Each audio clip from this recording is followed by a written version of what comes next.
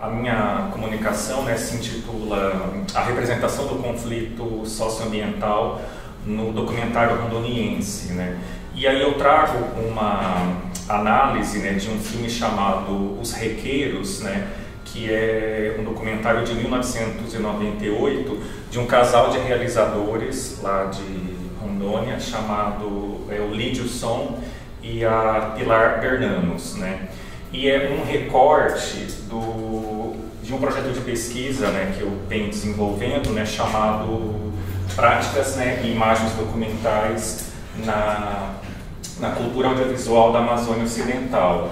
É, eu venho trabalhando com cerca de 60 documentários, né? Na verdade, esse número ele era um pouco menor, mas com a realização das entrevistas que eu venho fazendo com os realizadores, eu acabei descobrindo, enfim, alguns filmes é, que inicialmente não constavam dessa, dessa relação inicial.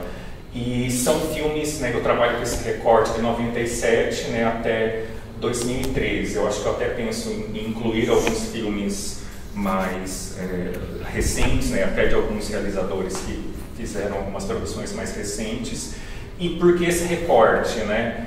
É, pensando aí em 1997, no né, final dos anos 90, como esse período da, da retomada do cinema nacional, e foi o ano também que o Aurélio Miquiles, né, que é um cineasta amazonense, ele lançou o Cineasta da Selva, um filme que de certa maneira deu visibilidade aí à produção da região norte. E, e esse conjunto de filmes, né, esse, esse, esse, esses filmes iniciais, né, a partir dos quais eu comecei a trabalhar, ele é tributado de um projeto anterior, né, que é o Amazônia Audiovisual Representatividades Contemporâneas, que foi coordenado pelo NAVE, né, que é o Núcleo de Antropologia Visual lá da UFAM, da Federal do Amazonas, né, pela professora Celda Vale da Costa. E aí eu acabei integrando, ela constituiu equipes né, em todos os estados da, da região norte e eu acabei fazendo parte da equipe de Rondônia. Né? E, e aí os filmes né, são esses dez realizadores aí com os quais né, a gente vem trabalhando, né? E aí hoje especificamente eu peguei esse recorte aí é, trazendo um dos filmes do, do Lídio e da Pilar, né? E alguns pontos assim de interesse, né, que aí eu procuro observar em todos os filmes, né, procurar pensar as condições aí de, de realização desses documentários, né, é, até em termos de fomento ali em âmbito estadual, né, que nós tivemos o próprio filme que eu analiso daqui a pouco, ele é fruto de um edital do governo em 1997, né, que foi uma iniciativa bem pontual e que naquele ano 10 filmes né, foram realizados. É, pensar também aí nos métodos de trabalho de cada um deles, né? É, em alguns filmes tem uma influência muito grande esse trânsito de linguagens entre documentário e jornalismo.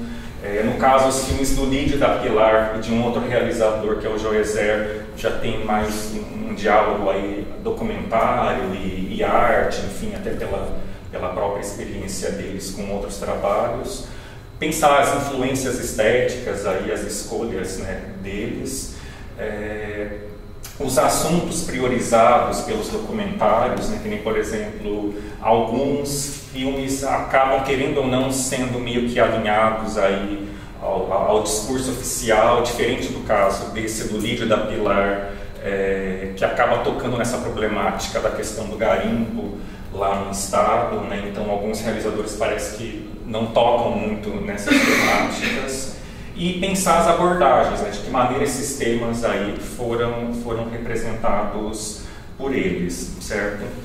É, bom, a Amazônia tem passado, no decorrer da história, por vários surtos devastadores, todos relacionados à expansão capitalista mundial, esse processo de devassamento da Amazônia, iniciado ainda no século XVI com a busca pelas drogas do sertão, passando pelo ciclo da borracha no final do século XIX e início do XX, e pelas frentes agropecuárias e minerais provenientes do Nordeste a partir de 1920, acentuou-se com os programas e projetos capitaneados pelo governo militar após o golpe de 1964 tendo em vista que a ocupação da região tornou-se prioridade para o Estado nesse período.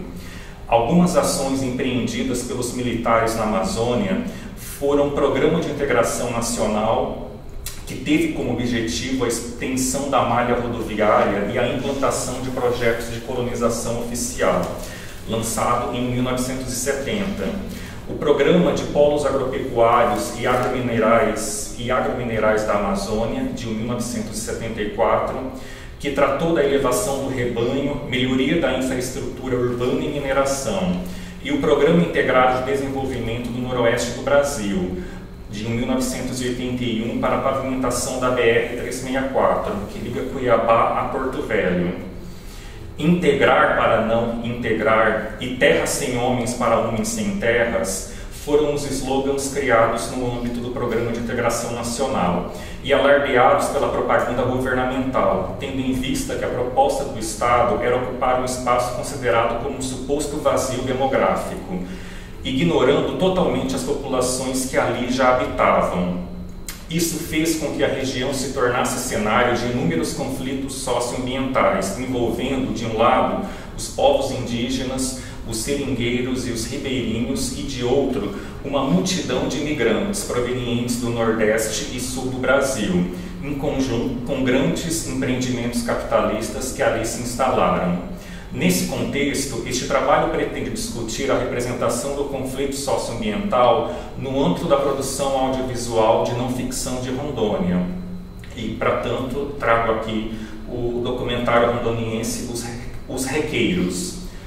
É, os dois realizadores, né, esse é o, o Lídio, né, ele faleceu em 2006, né, aí é uma imagem de uma entrevista que ele concedeu para a TV Rondônia em 2003 e essa é a Pilar, numa entrevista que eu fiz com ela ano passado. Né? Atualmente ela reside em, em Florianópolis. Né? Os realizadores Lid e Pilar destacam-se pelos procedimentos de criação e métodos de trabalho que empregam em suas produções audiovisuais Vale a pena notar que eles mudaram-se de São Paulo para Ariquemes, interior de Rondônia, em 1978, no contexto do intenso fluxo migratório que marcou Rondônia. Antes de irem para a Amazônia, eles já tinham forte contato com o campo das artes, tendo feito diversos trabalhos de desenho, de gravura em metal, literários, musicais e teatrais, além de atuarem como produtores culturais a partir de 1985, começam a trabalhar com vídeo, realizando uma série de trabalhos audiovisuais, né? documentário, ficção e, e experimental. Essa é a, a, filmografia deles. Né? Eles sempre trabalharam aí em parceria. Né? A história do garimpo Bom Futuro em Ariquemes, município do interior de Rondônia, é o tema do documentário Os Requeiros, que mostra como era a vida dos requeiros, né, que são os garimpeiros que trabalham manualmente, antes da chegada das grandes empresas mineradoras e da intervenção governamental no garimpo. Descoberta em 1987, o garimpo Bom Futuro impulsionou ainda mais o fluxo migratório para a região, sendo considerado a maior reserva de minério de caceterita a céu aberto do mundo, e em seu auge chegou a ter uma produção de 123 toneladas diárias.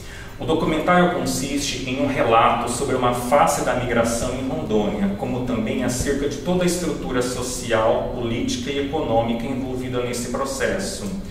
Com a crescente dificuldade da extração da cassiterita, aos poucos o garimpo foi se desfazendo e os requeiros indo embora. O que antes abrigou mais de 20 mil pessoas só registrava 1.500 em 1997, deixando uma grande área devastada. É... Em relação às condições né, de, de, realização, ele teve esse financiamento né, de, um, de um prêmio né, de incentivo é, de vídeo para roteiros da, da Fundação Cultural e Turística é, de Rondônia, né, que é a chamada FUNCETUR, que foi em parceria com o Ministério da Cultura. Uh, infelizmente, essa fundação lá também teve uma vida curta, né, que ela foi criada em 96 e em 2000 ela foi extinta. Em relação aos recursos estilísticos do documentário, Lídia e Pilar trabalham basicamente com comentário em voz-over e as entrevistas, né, os depoimentos dos garimpeiros. Outro recurso presente, menor, mas em menor escala, é o emprego das imagens de arquivo, seja da televisão, de jornais impressos ou de revistas. Diferente do comentário em voz-over utilizado no documentário clássico, é, também chamado aí, né, pensando no, no Bill Nichols, né, de, enfim, de voz de Deus, devido à ênfase na impressão de objetividade, neutralidade, indiferença e onisciência, o comentário em voz-over de Os Requeiros é carregado de subjetividade. Consiste em uma narração mais parcial e que revela, em alguns momentos, certo grau de ironia, por exemplo, na sequência inicial do documentário. Além do comentário em voice-over, merece nossa atenção a forma como foram organizadas as entrevistas. No total, 15 pessoas, entre homens e mulheres, foram entrevistados por e Pilar. Os cinco primeiros falam do motivo de terem ido para o garimpo de Bom Futuro. Os seis seguintes narram como é o processo da retirada manual da caceterita até seu preparo para a comercialização. Já os três últimos entrevistados falam do que restou do garimpo. Esse conjunto significativo de entrevistas presente no documentário possibilita a Lid e Pilar nos trazerem, de certa maneira, uma ampla perspectiva sobre a vida dos requeiros no garimpo de Bom Futuro. Cada um dos entrevistados e das entrevistadas, à sua maneira, expõe o que pensam sobre o ser requeiro, na medida em que aos depoimentos sobre suas experiências é dada prioridade. Por meio da montagem, o documentário apresenta um verdadeiro mosaico de opiniões, inclusive contrastando-as. Uns que gostam de estar ali e reclamam das dificuldades na cidade, estando satisfeitos com a vida no garimpo. Outros, em contrapartida, falam sobre as péssimas condições de trabalho, os riscos que correm e a informalidade em que os requeiros se encontram. Para já caminhando para a finalização, vamos discutir a forma com que a temática né, foi representada no filme. É, Requeiros né, trabalha o contexto socioeconômico do garimpo de Bom Futuro e também discute os impactos ambientais causados, notadamente devido às grandes áreas desmatadas.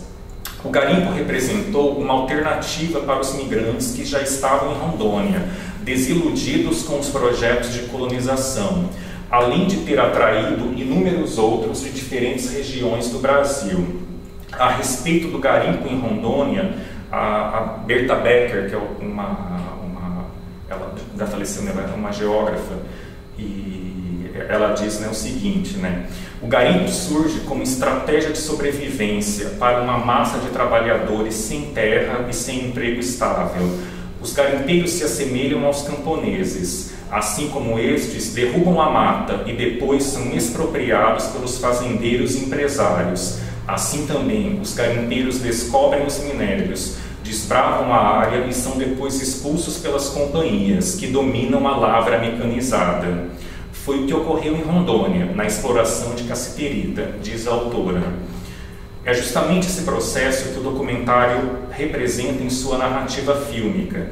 Os garimpeiros, após terem literalmente entrado em um lugar desconhecido para explorá-lo por meio da chamada lavra manual, são gradativamente substituídos pela lavra mecanizada das mineradoras.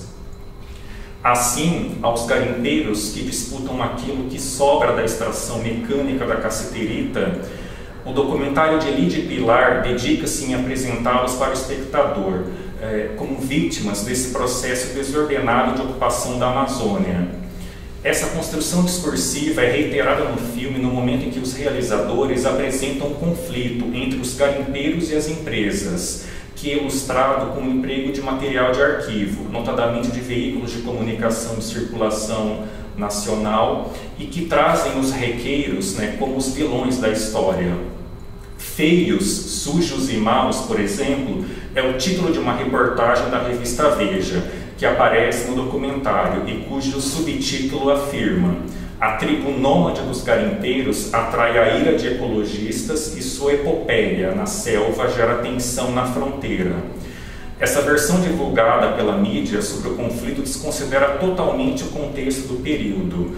pelo fato do garimpo ter servido, como destaca Becker, válvula de escape para tensões sociais, notadamente os problemas dos projetos de colonização capitaneados pelo governo federal, e que, como se percebe, não eram problematizados pela imprensa, no, no sentido de ir contra o discurso oficial. Nessa perspectiva, o documentário Os Requeiros ergue-se como um contradiscurso, né, com o intuito de procurar mostrar justamente o outro lado dessa história, na medida em que os garimpeiros não tinham nenhum direito. Pelo contrário, devido ao descaso de décadas do Estado, viam-se obrigados a enfrentar um trabalho perigoso na esperança de, quem sabe, como pontua o comentário em voz-over no final do filme, libertarem-se de toda e qualquer forma de opressão.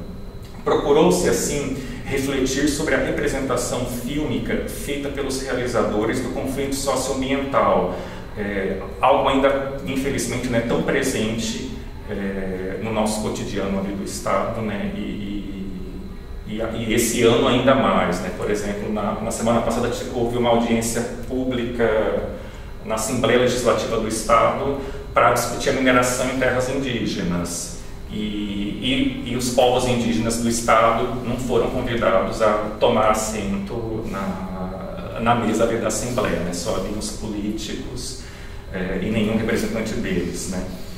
Ah, é, então, procurou-se né, refletir sobre a representação fílmica né, feita pelos realizadores do conflito socioambiental, tão presente no cotidiano da região, problematizando a relação entre a ideologia desenvolvimentista do Estado e a degradação ambiental, além de apontar as estratégias empregadas pelos realizadores na construção dessa narrativa, tais como é, as entrevistas, né, o uso de imagens de arquivo e o comentário em voice-over, destacando-se assim o potencial dos recursos audiovisuais, como diz o, o Mark Ferro né, na relação de cinema e história, como processos discursivos alternativos né, à história oficial.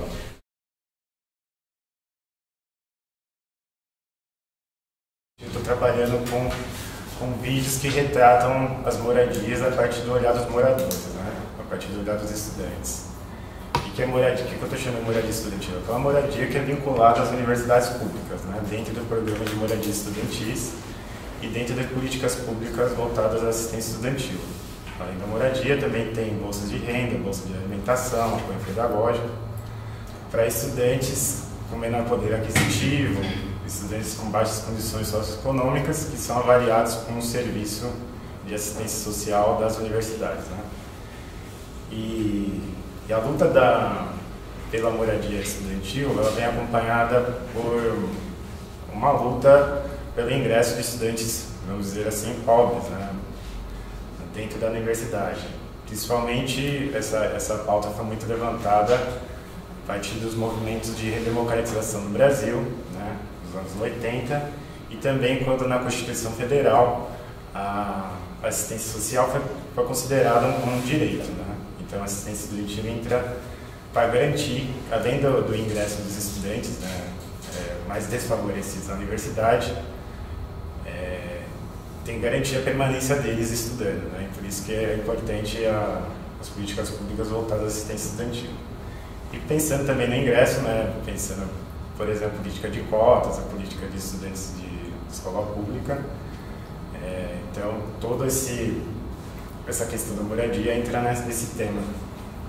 Os movimentos sociais foram muito importantes né, para começar a questionar um certo cerceamento elitista né, composição das universidades tem estudantes, a maioria de, de, classe média, inclusive até hoje, mas teve muitos avanços. Né?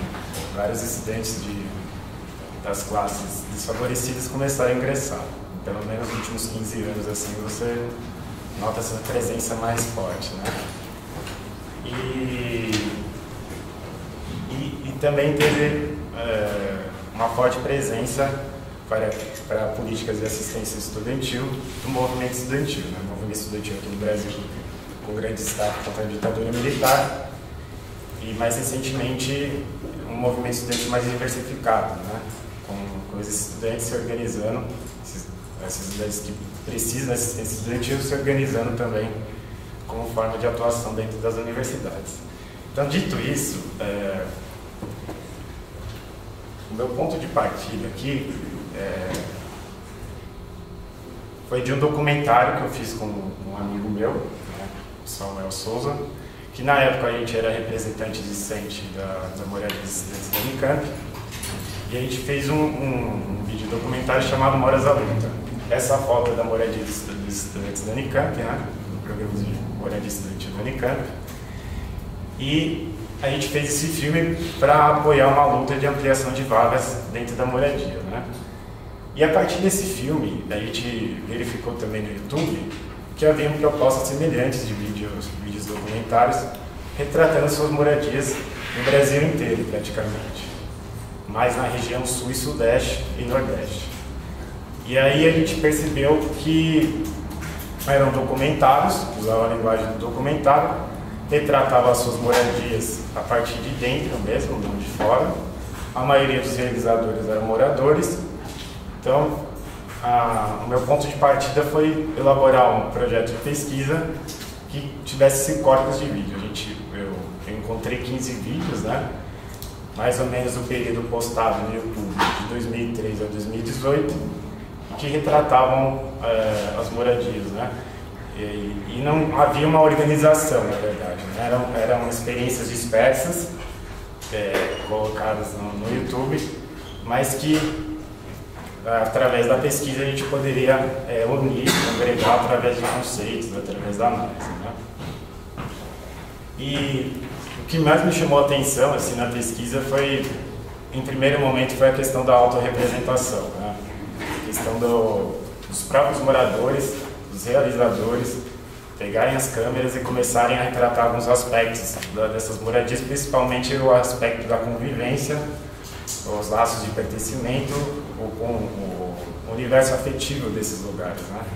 Como que é a convivência entre os moradores, como que eles concebem é, relação com esse espaço, visto que essa condição de morador é temporária, né? Ela, ela, ela finda quando você termina o curso dentro das universidades. Só que aí é, eu vi que tinham outros aspectos interessantes também da, da autorrepresentação. Eu vi que a autorrepresentação era um tema muito grande, assim, para trabalhar com 15, com 15 vídeos em um período tão curto, né, questão do mestrado. E eu decidi recortar um pouco mais a pesquisa e verifiquei que alguns vídeos tratavam da questão da memória de fundação dos lugares. E essa memória é atravessada por lutas estudantis. E aí eu me questionei por que, que esses, esses realizadores estavam trabalhando com a, com, a, com a, memória desses lugares. Né? E aí eu vi que tinha uma preocupação que esses lugares, se, se não contassem essas memórias através dos vídeos, né? principalmente através dos vídeos, teria uma concepção de que as reitorias ou os governos criaram esses lugares de forma espontânea, como se fosse uma iniciativa espontânea da instituição, e na verdade alguns vídeos apontam que foi um processo de luta estudantil, de organização de luta estudantil, e que eles tentavam construir a memória através do vídeo, relatando essas lutas, essas lutas. Uma forma de visibilizar essas lutas, para que essas lutas não caíssem em esquecimento, e como contradiscurso, um discurso institucional, falando que, é, que seriam iniciativas da reitoria dentro dos programas de, de assistência estudantil. Então eu fiz um recorte, eu, eu eu reduzi o número de vídeos e peguei os vídeos que tratavam da construção de memórias das moradias a partir dessa perspectiva de luta estudantil do, do passado. E aí, essa é a lista que eu estou trabalhando atualmente, né? A gente vê é, uma presença aí da, das universidades, eu classifiquei por universidades também, e ordem cronológica, né? O primeiro é o mais famoso né, desses vídeos, que é a experiência cuspiana do Nilson Couto, que ele foi articulado pela Associação Brasileira de Vídeo Popular, que o, que o Wilke colocou aqui na apresentação dele, em 86. E aí é um primeiro vídeo que trata de moradia estudantil, que eu conheço, né, que trata de moradia estudantil realizado. Né? E após isso, de 86, com a questão do desenvolvimento do vídeo, questão não só tecnológica, mas a apropriação do vídeo pelos movimentos sociais, eu verifiquei no, pela pesquisa do YouTube que a partir dos anos 2000 houve um boom assim de vídeos que retratavam as moradias, né? E de, de cada canto do país. Em 2004 o da UFPEL, em 2005, também lá no CRUSP, né, com o Marcelo Gutierrez, da UFSC e da Unicamp, que é um, um, vídeo que eu realizei com o Samuel, e com o Helder Pinheiro também realizando um vídeo da Unicamp também. Todos eles tra trabalham com a memória né, do, do, lugar, seja como ponto principal do, do vídeo, seja como uma, um aspecto importante do retrato dessas moradias. Né? Então, eu fiz essa, esse recorte aqui, pensando como eu vou analisar a construção de memória né, nesses vídeos. Né? Esse objeto das, de vídeo de moradia estudantis ele é novo, né? eu não encontrei paralelo é, pesquisando os principais bancos de, de, de teses do país, não encontrei paralelo, e, mas ao mesmo tempo é familiar. Né? Todos que, alunos, professores, de alguma certa maneira tiveram contato com pessoas que moravam com moradias estudantis, os próprios alunos, né? ou, conhecem, frequentaram essas moradias estudantis. De certa forma, é um, quando você vê o vídeo, te traz algo familiar, assim. Né? Quem participa, quem é aluno de, principalmente, universidades públicas, né? A construção de memória, estou pensando é, colocar pontos em comum esses vídeos, né, a questão do, do universo afetivo dos lugares que eu falei, né, os realizadores, em sua maioria, são os próprios moradores do espaço, né, por informações de crédito, é, eu pude obter essa informação e também, entrando em contato com os realizadores, eu pude obter essa informação também. A maioria deles é, moraram nas moradias e, e retratar a partir disso, né? A presença do sujeito da câmera em loco, né? Não é um discurso de fora, mas é um discurso de dentro. E, e também, além da questão da construção da memória, esses vídeos também foram feitos também como meio de contra-informação, no sentido de se contrapor informações vinculadas pelas reitorias, pelas instituições, né? As autoridades, né? Pensando um, debate sobre é, assistência estudantil. Né? Enquanto, por exemplo, né, Moras ao que a gente fez na, na Unicamp, a gente tinha a pauta da questão da falta de vagas lá, e a questão da falta de vagas era um acordo não cumprido de 87, que um movimento chamado TAV em 87 ocupou um espaço dentro da Unicamp, e a partir dessa ocupação, que durou dois anos, conquistou a, a pauta, conquistou a, a construção da moradia estudantil. Só que não foi cumprido a integralidade das vagas prometidas. Era prometido 1.500 vagas e foi, foi construída 1.000 vagas. Então está faltando 500 vagas. E aí a gente tem esses, esses realizadores, né, colocam, é, quando falar de Unicamp, colocam que a construção de mais vagas não foi efetivada por um descaso da reitoria, a reitoria coloca que é um problema dos estudantes que não aceitam outros moradores dentro da, das casas. Então tem um confronto aí, um embate de discurso. É, quando eu falo em construção de memória, o que, que eu quero analisar exatamente? Quero analisar como, como que é retratada, como que é construída a memória em termos de lutas estudantis, né? nessa questão da visibilização do contra-discurso. Também a preocupação de transmissão de memória, né? o vídeo não seria o único canal exclusivo, mas tem essa questão de uma preocupação dos realizadores transmitir uma, uma memória, principalmente o público-alvo voltado para esses vídeos é os próprios moradores né, das casas estudantis, residências estudantis, e também o uso de memória. Tem uma, tem uma finalidade usar memória. Para eles é como, é, alguns realizadores colocam a memória como força de mobilização no presente. Você resgatar a memória para incentivar as lutas no, no presente, como o caso da Unicamp, ampliação de vagas, você resgata essa memória para cobrar mais de vida do passado. Ou, no caso da USP, né, os dois vídeos da USP colocam como meio comparativo. Né? A USP, o USP tem uma história incrível né, de luta contra a ditadura militar e atingiu o ápice de militância estudantil e, e aí esses vídeos colocam como meio comparativo. Eu tenho alguns eixos referenciais teóricos, né? o Will colocou também, eu me baseei também na questão do vídeo militante, vídeo popular, né, questão principalmente do, da apropriação do vídeo pelos movimentos sociais, o vídeo comunitário contemporâneo, que foi analisado pela professora Clarissa Varenga em 2004, que hoje pode ser também chamado de cinema de periferia. Eu faço um comparativo porque eu estou analisando esses vídeos de moradia estudantis contemporâneo a essa prática do vídeo comunitário contemporâneo, né? Porque a partir dos anos 2000 começou a, a explodir essa, essa produção, né? E o documentário de memória, que, eu vou, que é o meu foco, assim, né? Pensar esses vídeos como documentário de memória, né? E eu vou ter, tirar alguns conceitos aí de lugar de memória, de memória, e o dever de memória do cinema militante. Como o cinema militante, ele, ele constrói a memória para representar as lutas do passado, é, visando é, denunciar algumas atrocidades do passado e, e construir algum tipo de movimentação no presente. A questão da transmissão de memória que eu falei, a questão de como a, os moradores, a identidade moradora na moradia estudantil, ela é, ela é provisória, ela só se, se mantém diante um vínculo, quem vai transmitir essa memória? Né? Se não há agentes transmissores de memória, essa memória ela tem a ameaça de esquecimento, a ameaça se perde. Né? Então eu coloco a lei da ESMA é, uma estudiosa de memória como, como fonte para pensar essa questão da transmissão de memória através da mídia, né, através do vídeo.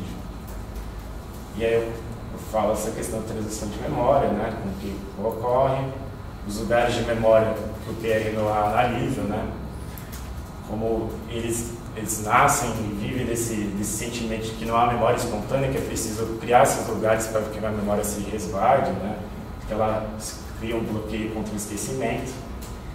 As vias de memória, que eu falei da da ESMA, e o documentário de memória, que trabalha o conceito do Bigoutier, que é um mergulho no passado, principalmente através das testemunhas e materiais de arquivo. Né?